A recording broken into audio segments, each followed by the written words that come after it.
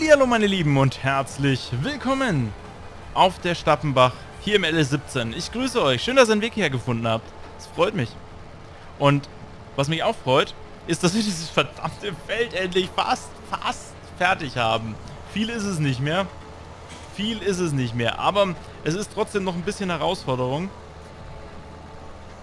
Und ich muss sagen, ich bin dann auch ziemlich froh, wenn wir das geschafft haben, wobei wir ja auch Zeit haben, weil wir werden den Flug dann wahrscheinlich durchflügen lassen. Das heißt, wenn der, wenn der da drüben fertig ist, wir gleich hier drauf. Und dann schnappen wir uns mit dem, mit dem Samisch, schnappen wir uns dann die, äh, die, den Grubber und fangen da drüben schon mal mit dem Grubbern an. Das kann aber auch der, der CP-Fahrer eigentlich machen. In der Zwischenzeit werden wir dann uns um die Ernte, um das Erntegut kümmern. Das spricht dann, wenn wir hier auch mal drüber pflügen müssen. Ähm, ach ne, das können wir ja gar nicht, weil der, ah, wir haben die ganze Gerätschaft, haben wir ja noch nicht da. Habe ich ganz vergessen, dass das ja alles noch gar nicht dabei ist. Ah, er ist fertig. Oh, wie cool. Da drüben ist er. Okay, da drüben ist unser Drescher fertig. Den werden wir dann auch wegfahren, wenn er dann ähm, soweit ist. Ich lasse ihn jetzt da erstmal stehen, solange er uns nicht im Weg steht. Und wenn er uns im Weg steht, fahre ich ihn kurz weg. Nee, aber wir müssen unsere ganze Getreide und so weiter wegbringen. Viele haben auch in den Kommentaren noch vorgeschlagen gehabt, wollte ich auch nochmal darauf eingehen, specialweise, ja. Ähm, haben in den Kommentaren vorgeschlagen gehabt, Zwergi, du musst unbedingt düngen. Ohne, wenn du drei Düngestufen eingestellt hast, ist es essentiell wichtig, dass auch wirklich gedüngt ist. Sehe ich komplett ein. Das heißt, wir haben ja auch Dünger. Wir müssen dann mal gucken, wie die Dünge, wie das Düngeverhältnis auf dem Feld ist. Im Zweifel braucht man Düngestreuer. Weil viele haben gesagt, boah, also von der Ernte, das ist jetzt echt schlecht, ne? Also das ist nicht gut, was da rauskam. Es hätte viel, viel mehr sein müssen. Und da muss ich sagen, boah, da habe ich nicht die Erfahrung, aber ich vertraue darauf, dass ihr sie habt. Und deswegen bin ich da bei euren äh, Kommentaren, habe ich mir die ganz massiv durchgelesen und mir gedacht, boah, dann, wenn das wirklich so ist, dann ist das ja für uns eigentlich dramatisch. Weil unser kleiner Hof, den wir betreiben hier, wir haben 56.000 auf der hohen Kante liegen. Das ist auch nicht viel. Wenn ich mir jetzt, warte mal kurz, wir können ja mal ganz kurz den, den Stopper reinmachen. Und dann gucken wir mal ganz kurz, was kostet uns ein neuer Traktor? Und zwar, ich sag jetzt mal vielleicht ein...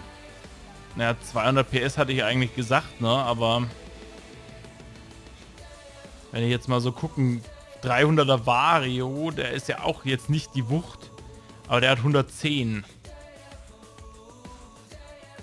Der T6 hat, wenn wir Valtra nehmen, Valtra, das ist das Same, den haben wir glaube ich schon sogar schon. Der Fan 700er Vario, den zum Beispiel, der würde uns, den könnte ich mir noch vorstellen, aber der kostet, alter Schwede, schau dir das mal an. Der kostet 164.000. Ich meine, wir könnten da mit Sicherheit einen ähnlichen in der, in der besseren Preisklasse kriegen, aber Boah, ja gut, ein 200. 200 ist vielleicht etwas übertrieben, ohne Witz. Also 200 PS Gerät ist vielleicht ein bisschen übertrieben. Was ist denn das? Ach, der hat einen Sale gerade laufen. Aber das ist ja natürlich völlig irre. Ja, 350 PS, das ist natürlich schon eine mega harte Nummer. Ist der aus dem Big Butt ist der draußen, okay. Was haben wir hier? Ja, das, das wäre dann fast 200.000 äh, kostet uns die Glasgeschichte, die, die wäre zum Beispiel ein 205 PS Teil. Und dieser Traktor hätte natürlich 187.000 im Angebot. Agros Deutz. Vielleicht, vielleicht einen größeren Deutz, könnte ich mir auch vorstellen. Hier haben wir noch die anderen Fendt. Ein 700er Vario, das könnte ich mir tatsächlich noch so was sogar vorstellen. Ein Fendt Farmer, ja, okay. John Deere, Johnny! Boah, ein Johnny wäre auch eine geile Geschichte. Schau mal her. Ein Johnny mit 224 PS zu einem echt brauchbaren Preis. Boah, ein Johnny wäre cool. Da würde ich aber auch den für 120 nur nehmen. Das wäre auch eine Möglichkeit, wobei mir dann der optisch besser gefällt. Bin ich ganz ehrlich. Bin ich ganz ehrlich. Messi wäre auch eine coole Idee. Messi Ferguson. Aber da ist es dann wieder mir zu groß. Das sind die alten. Die sind auch nicht so groß. Ich würde die gerne sortieren, ohne Scheiß. Nochmal groß, die großen Waldras, ja, die kannst du alle in der Pfeife rauchen. Das bringt mir jetzt gerade nichts. Ein 800er Favorit. Der wäre auch eine Möglichkeit. Ein 800er Favorit. 1000er Vario, ja genau. Äh, ein 800er Favorit, der hat auch nicht ganz so wenig PS, ist aber nicht so übertrieben teuer. Mit fast mit unter 80.000 ist es sogar sehr günstig. Wobei der Ford natürlich auch mega krass ist von der Leistung her. Was ist das nochmal für einer gewesen? Ein... Ein Ro... Rollin... Rollin... Ja gut, aber das ist ein Ford. Der wäre jetzt sogar... Den könnten wir uns sogar richtig gut leisten. Aber ich muss sagen, der 800er Favorit hier... Den finde ich gerade ziemlich nice. Der ist nicht so teuer, den könnten wir uns nämlich relativ zügig leisten. Weiß ich noch nicht, ob mir das gefällt. Jetzt pass auf, jetzt machen wir folgendes. Ähm, wir machen jetzt folgendes. Wir beenden jetzt erstmal den Kurs hier. Dann machen wir jetzt folgendes und zwar wir sagen Motor starten, Drescher anschalten.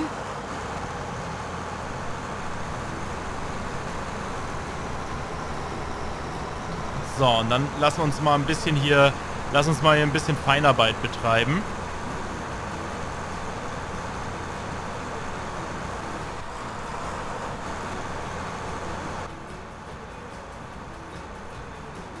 Das ist halt ein Riesenkoloss, das Ding, ne?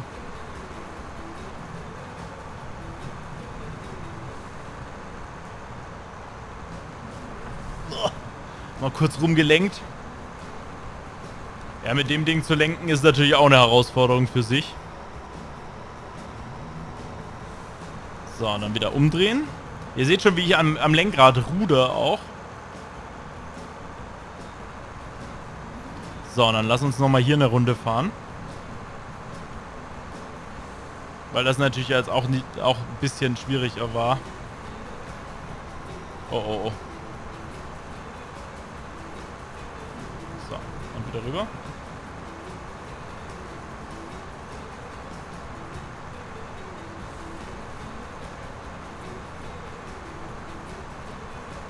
Ich weiß nicht, ob das was bringt gerade, was wir hier tun. Ein bisschen, aber halt nicht viel.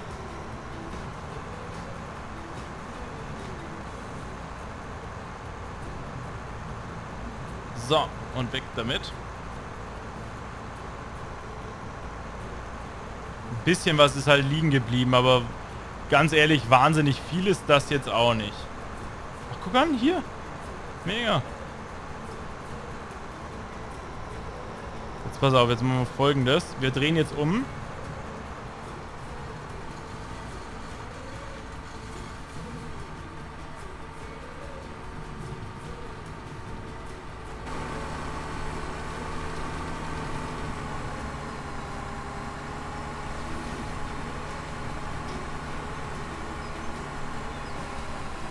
Oh.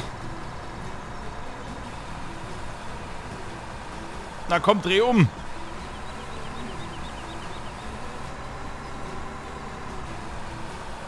So. Schauen wir mal, ob wir da noch was voll bekommen. Wird auf jeden Fall ziemlich voll, das Ding. Vielleicht kriegen wir den sogar an der Stelle jetzt erstmal fast leer. Dann können wir den ersten, das erste Gerät wieder wegbringen.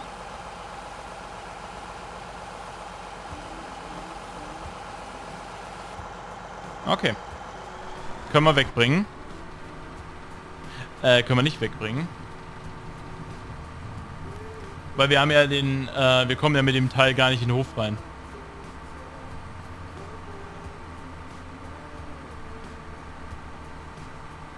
Wir kommen ja mit dem Ding gar nicht in den Hof rein, weil der viel zu groß ist, viel zu breit. Deswegen bleibt uns ja nichts anderes übrig, als nur, äh, als den hier vorne erstmal abzuladen. Das Mähwerk quasi. Oder das Dreschwerk in dem Fall eher, oder? Klingt, klingt plausibel. Klingt plausibel. Wow, wow, wow. Da wollte ich nicht drüber fahren. Der hat es nämlich richtig hübsch gemacht jetzt.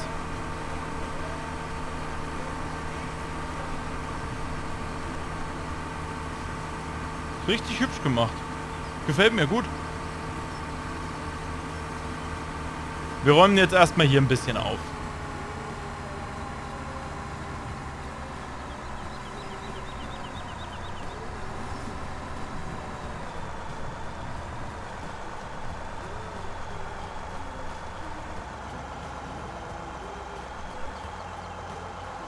Können wir das ablegen hier?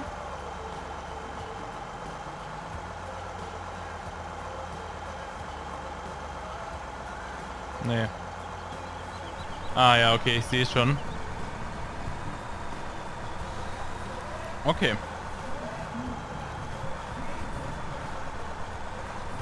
Probieren wir es mal so. Vielleicht klappt so.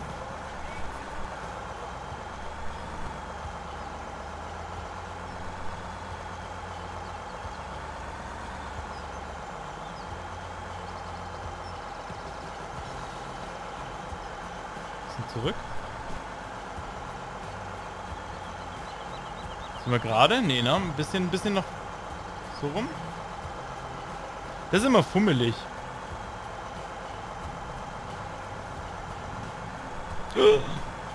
Oh.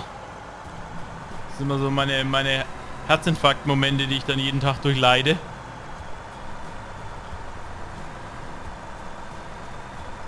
So, nochmal auf ein neues. Na komm, das schaut doch jetzt fast gut aus.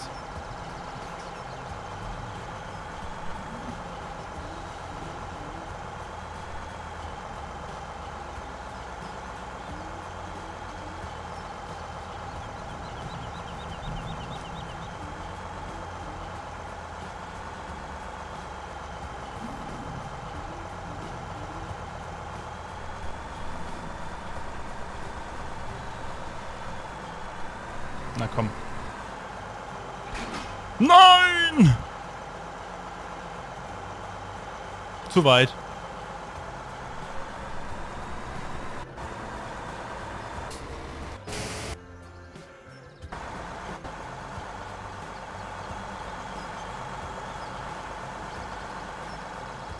Kann ich dich nicht retten? Das kriege ich ja nie mehr hin. Warte mal, das muss ich jetzt ausprobieren, ob ich das wieder hinbekomme.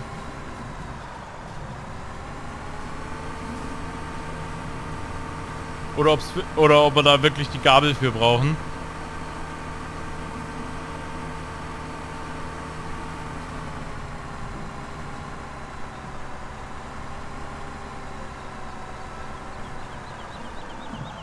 Oh nee.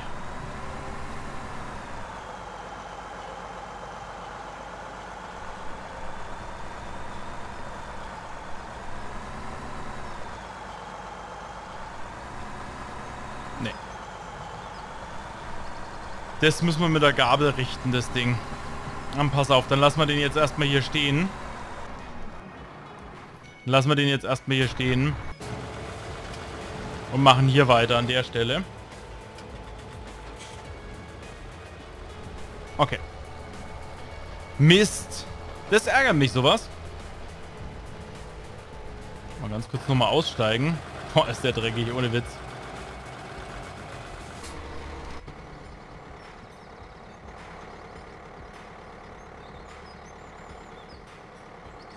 Das Feld schaut gut aus. Das Feld gefällt mir richtig gut. Dreht er jetzt nochmal nach hinten? Ja, schon, oder? Ja, komm, machst du, machst du klasse.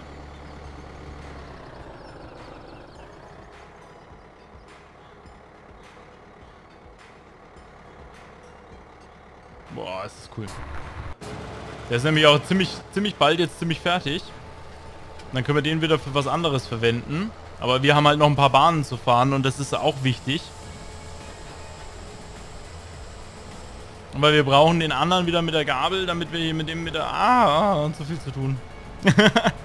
Gut, wobei, deswegen habe ich den Season Mod rausgenommen, weil ich gesagt habe, mit dem Season Mod habe ich nicht genug zu tun. Also darf ich mich jetzt nicht beschweren, wenn so viel zu tun ist. Ganz, ganz logischer Umkehrschluss.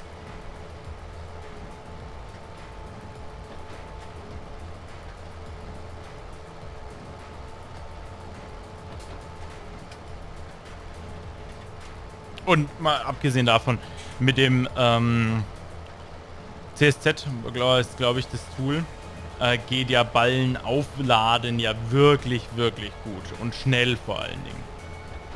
Also ohne den, ohne die, ohne diese automatische Aufladen in der Gabel drin, äh, muss ich euch ganz ehrlich sagen, wäre das eine ziemlich zähe Angelegenheit, ähm, die ganzen Ballen hier zu verladen. Vor allem, weil so kleine sind.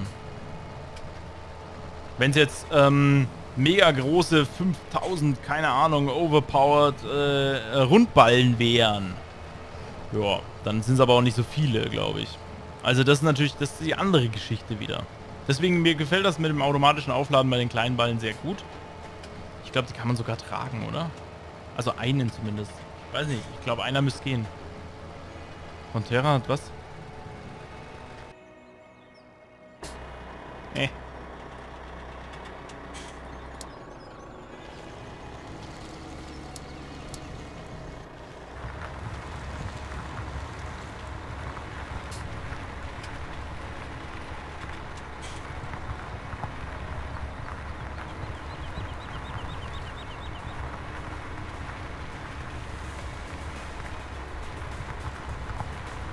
Schauen wir mal schnell. Nächster passender Wegpunkt wäre das. Das müsste diese Bahn hier sein. Oder die nächste da drüben. Ich weiß es nicht. Ich nehme einfach die da. Müsste passen. Okay. Meine Lieben, es tut mir an der Stelle auch leid, dass es tatsächlich jetzt in der Zwischen- oder in letzter Zeit halt nicht so viel auf einen Schlag gibt zum Angucken. Ähm, ich habe halt wirklich wenig Felder. Ich kann jetzt hier keine mega heftig großen Sprünge machen, weil einfach die Anzahl der Felder sehr begrenzt ist. Das habe ich mir ja ausgesucht, damit das Let's Player nicht nach fünf Folgen vorbei ist, sondern damit man hier wirklich arbeiten muss, um was zu erreichen. Das wollte ich ganz, ganz, ganz, ganz, ganz bewusst so. Ich weiß, manche von euch sehen das ein bisschen anders. Die sagen, boah, Zwergi, hättest du es halt anders gemacht, hättest du halt keine Ahnung was. Ähm, hättest du halt fünf Felder genommen oder sowas. Ja, das sehe ich voll und ganz ein. Es würden ja auch noch andere LS-Projekte kommen. Die werden natürlich nicht auf diesem Low-Budget äh, gemacht, sondern die werden halt auch etwas größer dargestellt. Jetzt mache ich das Feld fertig. Der von, von Terra, ähm, weiß ich nicht. Der macht gerade mir Ärger. Ähm, ja, die neuen Projekte werden natürlich anders dargestellt.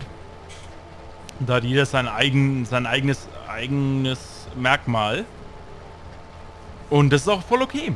Das ist auch voll gut. Hauptsache wir, meine Lieben, haben die Möglichkeit, ähm, uns mal einfach so ein bisschen gemütlich anzubeißen. Durch, durch das auch mal kennenzulernen erst alles. Ich meine, manche, die meisten von euch werden selber spielen, äh, manch einer aber halt auch nicht. Und der lernt jetzt mit dem Let's Play auch mal ganz einfach kennen, wie es in dem Spiel auch tatsächlich mal abgeht, wenn man sich ein bisschen die Schwierigkeit nach oben stellt. Und für viele ist es ja auch ein wesentlicher Kaufgrund, dass es nicht zu easy ist. Ja. Also würde ich jetzt persönlich sagen, wir lassen das jetzt einfach mal so dahingestellt. Dass es so ist. Ich werde jetzt erstmal ganz kurz, warte mal, die Krone, ähm, Krone Big Packs. Pass auf.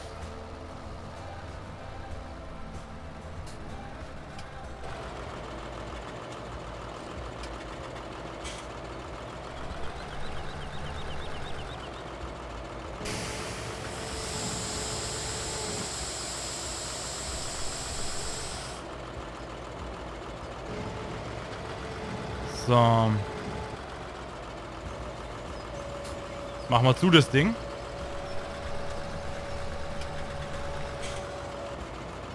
Wir sind auf jeden Fall ganz gut dabei und für heute, meine Lieben, sind wir auch tatsächlich schon fertig. Muss jetzt bloß ganz kurz mal hier ähm, schauen, wie viel er noch hat. Weil das ist nämlich, viel kann es nicht mehr sein. Und ich würde sagen, ich mache an der Stelle jetzt nochmal ganz kurz mein, mein Bildchen, das ich gerade machen wollte. Und wir sehen uns in der nächsten Folge, wenn du da draußen Bock hast. Bis dahin, habt eine tolle Zeit, lasst es euch gut gehen. Euer Zwerg auf Zwergtyp. Ciao.